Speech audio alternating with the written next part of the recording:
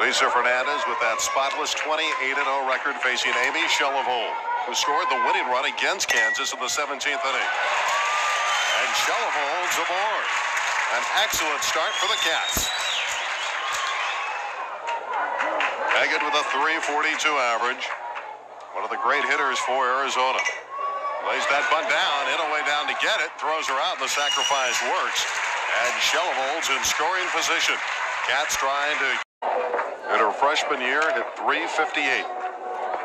You won't see very many faster than her in collegiate softball. She's got 67 hits, 66 which are singles, and basically she just looks to put the ball in the infield as you see Arizona's infield coming in and then race to first base. Tough play for Espinoza.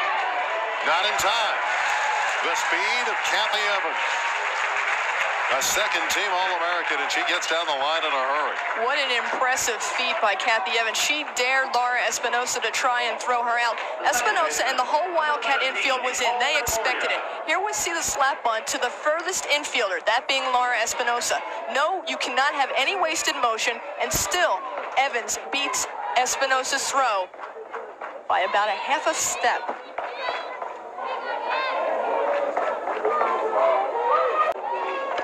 Stacy Redondo, the left fielder, excellent speed. To watch it, she has a swinging bunt with the left hand, and she sticks the bat out there with just the left hand. She can bunt it with one arm. Well, she's a switch hitter. There it is, and it's foul.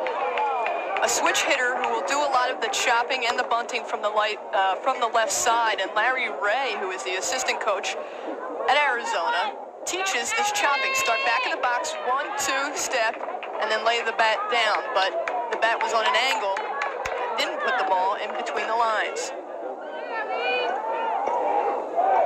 Redondo actually has more power from the right side, but more of a valuable commodity from the left side because of the speed. He's in a hole, one and two, facing Lisa Fernandez. And what we're seeing a lot of the Arizona Wildcat hitters do is take one or two steps as they're starting to swing, and that's to get their momentum going and get the speed going so they can run towards first base. They're just trying to put it in the infield. Obviously, you can't hit with power when your legs are moving. You can't get your hips into it as well. So they're hitting all arms, all wrists, and try and beat the throw to first. Change up. Great pitch. And Redondo is done. Four strikeouts for Lisa Fernandez. Not only was it a great pitch because it was a changeup and off speed, but it was also on the outside corner. Redondo going away from it, and that speed had a, that changeup had a little bit of curve to it. It just worked away from Redondo. As she's moving towards first, that pitch is moving. The first time for Chellevold. Amy, a freshman. Her four hits against Kansas tied a World Series record. Amy Gelbach of Long Beach State also in the series had a four-hit game. One is down. And another hit for Amy Chellevold. She's two for two today. Kelly Inouye, the catcher for the UCLA Bruins, had a little trouble coming out from behind the plate because she tripped over Chellevold's bat. If you'll see, Chellevold puts it down, and it's between Lisa Fernandez now and Inouye to get to that ball. Inouye gets it, but bumps into Fernandez, has to jump over the bat, and by that time, Chellevold, with her speed, gets an infield single. You have Kathy Evans up now, the speedster. Kathy Evans beat out an infield hitter first time.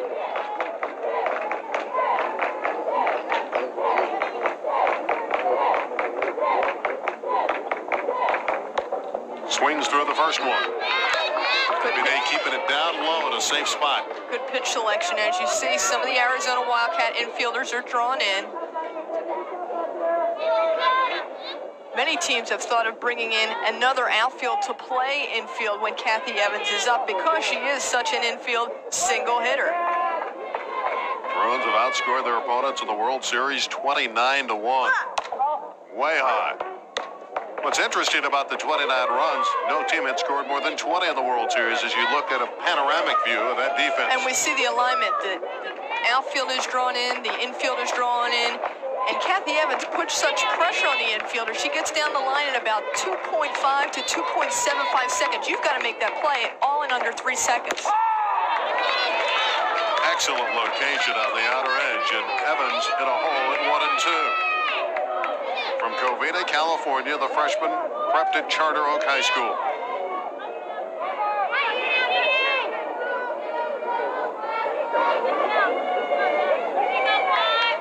Howard at first with two away.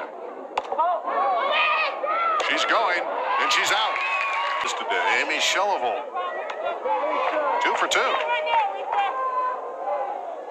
Having a very fine World Series. In the air and out of play. Chellevold is seven for 18 this week in the College Softball World Series. Chellevold, one of the better slappers on the team, and their philosophy for Arizona, wipe out the front line of the batter's box, start back, one, two steps up. Their second step, you should make contact with that pitch, and then run like crazy to first. That's hit hard, foul, and she pulled it. So for all the slapping to the left side, here she turns on the ball and turns it off the first base side. The interesting thing is your same ready stance for a slap you should be able to hit from, and, and Chellevold proved just that. She can slap from that position, or she can hit away from that position. So she's a double threat. You keep the defense off balance. We've talked about all the great UCLA freshman players. Well, Chellevold's a freshman, and she was a third-team All-American. He's flat out a tough out always seems to get a piece of the ball. The tough part about slap running and slapping is you've got to make that decision on the pitch maybe one or two fractions of a hundredth of a second before you would if you're just standing there. And if Lisa Fernandez continues to throw junk low and, low and away, it makes that much more difficult. Amy's sister Julie, a great volleyball player at Ohio State, led Ohio State into the Final Four. Back Ohio State, guess who they ran into into the Final Four of volleyball? UCLA. So her sister Julie ran into the very tough Bruin volleyball team, and UCLA defeated Ohio State and went on to win their second consecutive national championship.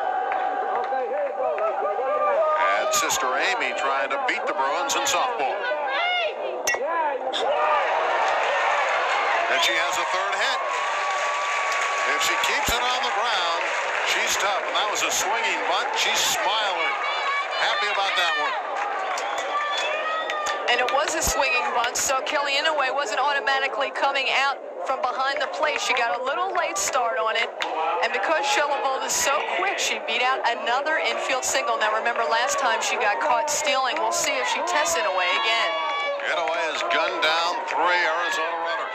This is the last year we're going to see a white ball in the College World Series. Next year, the NCAA will introduce into tournament play a yellow ball with red seams, which has a poly core for a center. Right now, this white ball has a cork center.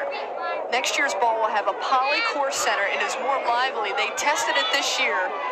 22 home runs were hit in a tournament in San Jose. That's the last year we'll see the white ball in the College World Series. The butt is down. Miller Pruitt has to hurry and cannot get Kathy Evans. I don't even think a good throw would have gotten Evans the way she gets down the line.